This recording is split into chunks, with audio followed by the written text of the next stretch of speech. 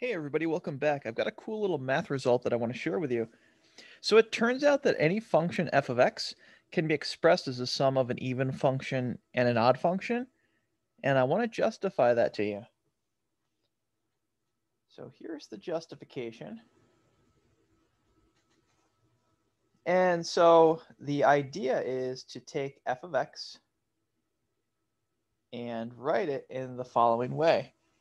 So we could write this as 1 half of f of x plus 1 half of f of x plus 1 half of f of minus x minus 1 half f of minus x. And that's certainly true, right? This is 0, but it's going to be a clever form of 0. And the sum, of course, is f of x. So nothing uh, illegal's happened so far. And so what we want to do is we want to give um, certain parts a name. So these two terms right here, we're going to call that g of x.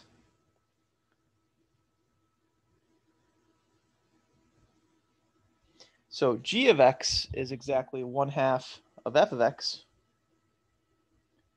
plus 1 half of f of minus x and h of x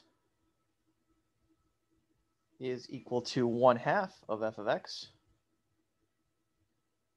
minus 1 half of f of minus x, right? So for g of x, I've collected, it looks like this term and this term. And for h of x, I've collected this term and this term.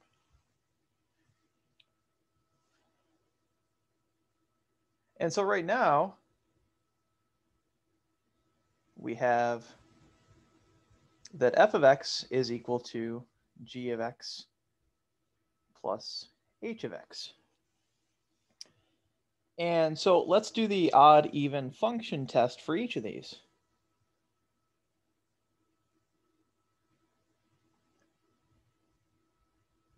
So let's note g of minus x.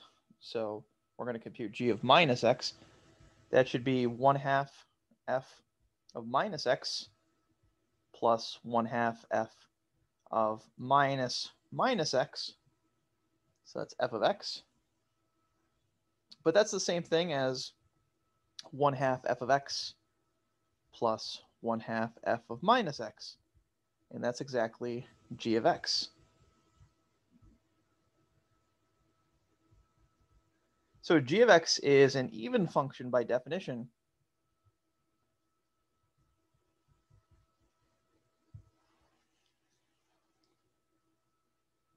And so now we investigate h of x.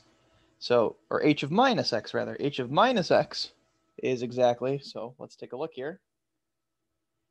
1 half f of minus x minus 1 half f. Well, if I plug in minus x here, minus minus x will give me x.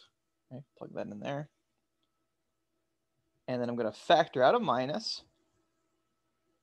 That gives me well, if I factor out a minus and switch the order, that's going to give me 1 half f of x minus 1 half f of minus x, but that's exactly minus h of x. So h of x is an odd function by definition.